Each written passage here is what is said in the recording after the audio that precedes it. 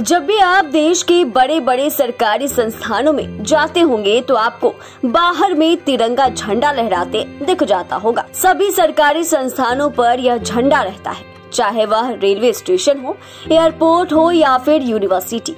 लेकिन अब धीरे धीरे प्रसिद्ध धार्मिक स्थल और पर्यटन स्थल के पास भी तिरंगा झंडा लगाने की बड़ी तैयारियाँ चल रही है। आपको बता दें कि इसी कड़ी में बिहार के गया ज़िले के बोध गया में महाबोधि मंदिर के सामने चौराहे पर बने गोलम्बर के पास 80 फुट ऊँचा तिरंगा झंडा लगाने के लिए कार्य योजना तैयार कर लिया गया है। उम्मीद है कि इस साल अगस्त तक बोध गया में तिरंगा लहराने लगेगा। यह बिहार के लिए बहुत ही खुशी की बात है कि अब धार्मिक और साथ ही पर्यटन स्थल पर अपने भारत का तिरंगा लहरते देखने को मिलेगा। दरअसल बोध गया में 80 फीट ऊँचा तिरंगा झंडा लगाने का प्रयास नगर परिषद बोध गया के बोर्ड की बैठक द्वारा जिला प्रशासन को दिया गया है। जिला प्रशासन से स्वीकृति के बाद इसका काम तेज़ी से किया जाएगा। उम्मीद जताई जा रही है कि इस साल 15 अगस्त से पहले ही बोध गया में यह काम पूरा हो जाएगा।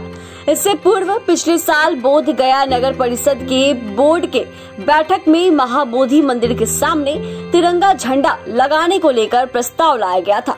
पारित होने के बाद मंदिर के सामने गोलम्बर में फाउंडेशन का काम भी पूरा कर लिया गया था, लेकिन किसी तकनीकी वजह के कारण वह काम पिछले साल नहीं हो पाया था।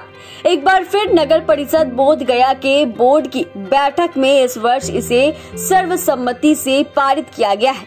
जिला प्रशासन से सहमति मिलने के बाद इस काम को पूरा किया जाएगा। आपको बता दें कि गया में गया रेलवे स्टेशन पर, एयरपोर्ट पर, सेंट्रल यूनिवर्सिटी के पास तिरंगा लगाया गया है। अब बोध गया में इसे लगाने की तैयारी चल रही है। यहाँ पर 80 फुट ऊँचा पिलर लगाया जाएगा, जिस पर 20 गुना 30 का तिरंगा झंडा लहराएगा।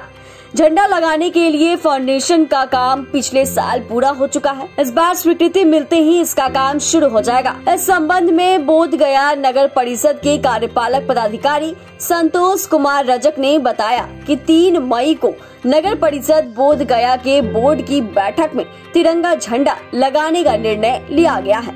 इससे पूर्व भी तिरंगा झंडा लगाने को लेकर निर्णय लिया गया था। उस समय फाउंडेशन का काम किया गया था। इसका एस्टिमेट बनाकर हम लोग जिला प्रशासन को देंगे और स्वीकृति मिलने पर इसे पूरा किया जाएगा।